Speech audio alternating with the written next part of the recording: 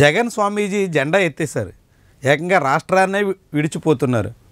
అదేంటి? చాలామంది ఇటీవల అధికారం మారిన తర్వాత రాష్ట్రం నుంచి ఇతర ప్రాంతాలకి తరల వెళ్ళిపోతున్న పార్టీ కార్యకర్తలను చూసాం. కానీ స్వామీజీ కూడా తన పీఠాన్ని విడిచిపెట్టి ఋషికేశ్ వెళ్ళిపోతున్నట్టుగా చెప్తున్నారు. విశాఖ శారదా పీఠాధిపతితో వైఎస్ జగన్కు ఉన్న బంధం అందరికీ తెలిసిందే. వైఎస్ జగన్కి శ- శారదాపీఠాధిపతికి ఉన్న సాన్నిహిత్య రీత్యా అనేక రకాల ప్రయోజనాలు ఆ స్వామీజీకి దక్కాయి.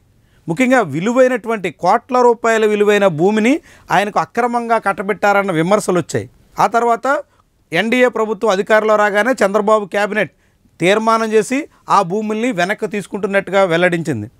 కేవలం విశాఖ భీమిలి ప్రాంతంలో భూములే కాకుండా తిరుమలలో ఆయన కేటాయించినటువంటి స్థలాలని కూడా వెనక్కి తీసుకుంటున్నట్టుగా వెల్లడించారు. దాంతో స్వామీజీ అనేక రకాలుగా పునరాలోచనలో పడినట్టుగా కనిపిస్తుంది. తాజాగా ఆయన పూర్తిగా విశాఖపీఠాన్ని వదిలి ఋషికేశ్లోనే ఉండేలా నిర్ణయం తీసుకుంటున్నట్టుగా చెప్తున్నారు. ఆయన ఋషికేశ్కే పరిమితం కాబోతున్నట్టుగా అధికారికంగా కూడా వెల్లడించారు. రాష్ట్ర ప్రభుత్వం కేటాయించిన గన్మేల్ని వెనక్కి తీసుకోవాలంటూ తాజాగా డీజీపీకి ఒక లేఖ కూడా రాశారు. విశాఖ శారదాపీఠం స్వామీజీ ఇక నుంచి పూర్తిగా ఋషికేశ్కే పరిమితం అయిపోతున్నారు కాబట్టి గన్మ్యాన్ని వెనక్కి తీసుకోవాలని ఆయన కోరినట్టుగా డీజీపీకి అందినటువంటి లేఖలో ఉంది. గతంలో వైఎస్ జగన్ ప్రభుత్వం శారదాపీఠతో పాటుగా ఉత్తరాధికారికి కూడా గన్మ్యాన్లను కేటాయించారు.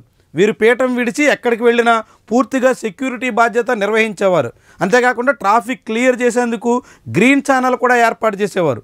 అలాంటిది ఇప్పుడు రాష్ట్రంలో అధికారం మారిన తర్వాత శారదా పీఠాధిపతికి అనేక రకాల ఆటంకాలు అన్నింటా ఎదురవుతున్నాయి.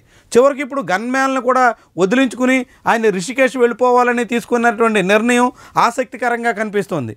గన్మ్యాన్ని వెంట తీసుకెళ్తే ప్రభుత్వానికి ఎప్పటికప్పుడు సమాచారం అందే అవకాశం ఉంటుంది కాబట్టి అలాంటి అవకాశం కూడా లేకుండా చేశారా అన్న ప్రశ్న కూడా విధిస్తుంది అది కాకుండా పూర్తిగా ఆయన ఋషికేష్కే తన పీఠాన్ని మార్చేస్తున్నారా అన్న అనుమానం కూడా బలపడుతుంది. అయితే విశాఖ శారదాపీఠం ప్రస్తుతం ముషినివాడలో పెందుర్తి సమీపంలోని ముషినివాడలో కొనసాగుతుంది.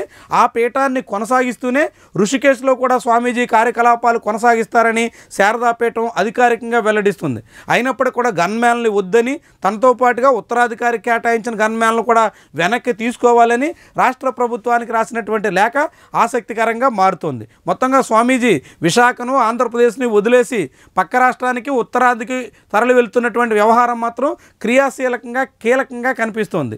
ఇది ఆంధ్రప్రదేశ్ రాజకీయాలకు అద్దం పట్టేలా ఉంది. రాష్ట్రంలో రాజకీయాలు మారిన తర్వాత అధికార మార్పిడి జరిగిన తర్వాత పార్టీ శ్రేణులు వివిధ నాయకుల అనుచరులే కాకుండా ఏకంగా స్వామీజీలు పీఠాధిపతులు కూడా పీఠం మార్చేస్తున్నటువంటి తీరు మాత్రం ఆసక్తికర అంశమే. వీడియో లైక్ చేయండి కామెంట్ రాయండి షేర్ చేసి సబ్స్క్రైబ్ కూడా చేయండి. Thank you for watching